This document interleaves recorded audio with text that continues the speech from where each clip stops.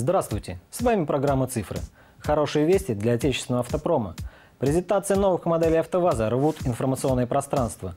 25 ноября дилеры уже начали запуск продаж ЛАЗа Весты. А в Тольятти вовсю идет подготовка к запуску серийного производства X-Ray. Чиновники разных уровней уже начали менять служебные Ауди и Мерседесы на Лады. Так, мэрия Автограда уже получила партию Вест. К этому же готовится и областное правительство. Но для начала немного статистики.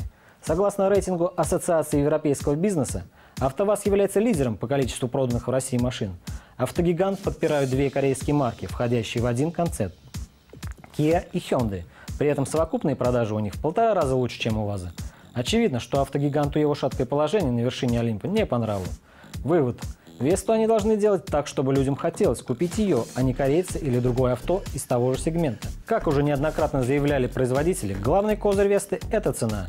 Изначально анонсировалось, что база нового детища АвтоВАЗа будет стоить 490 тысяч рублей. Но экономический кризис сделал свое дело.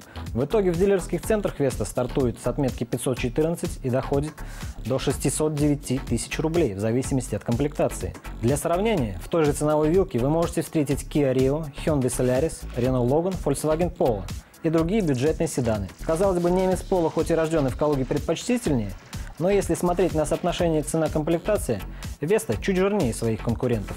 Да, в базе нет заявленного ранее кондиционера. За него, а также за дополнительную подушку безопасности для пассажира придется доплатить 30 тысяч рублей. Итого 544 тысячи за Весту с кондиционером. А в самой дешевой версии нет магнитолы и подогрева сидений. Всего того, что так любит среднестатистический россиянин.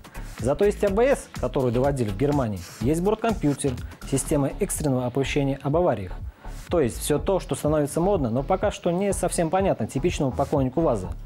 С похожим набором опций Калужский пол обойдется почти в 580 тысяч рублей. Признаюсь, что протестировал Весту чуть раньше президента, 25 сентября, на презентации в Ижевске. Это была средняя комплектация «Комфорт», которая стоит 570 тысяч рублей. Наверное, самая оптимальная из всех. К базовым здесь прибавляется аудиосистема, подогрев лобового стекла и даже парктроник – за эти деньги амбиции опытного автовладельца может удовлетворить разве что Renault Logan. Получается, что цена не сильно отличается от конкурентов, хоть и чуть ниже. Да и потом, говорить о том, что Веста хорошая машина рано, это станет понятно через год или даже через три года эксплуатации. То же самое с X-Ray. Мы видели только концепт, а это само собой модель при параде.